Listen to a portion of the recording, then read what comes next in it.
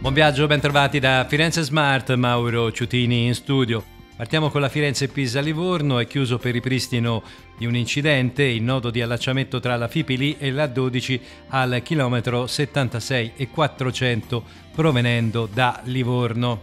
Prudenza in A1, rallentamenti tra Incisa Reggello e Firenze Sud in direzione Firenze, rallentamenti anche in direzione opposta, code a tratti tra Firenze in Pruneta e il bivio A1 variante di Valico. Ricordo che in A1 per lavori di pavimentazione domani giovedì 31 agosto dalle 22 alle 6 sarà chiuso lo svincolo di Incisareggello in uscita per chi proviene da entrambe le direzioni. È tutto grazie a Regione Toscana, Città Metropolitana, Comune di Firenze.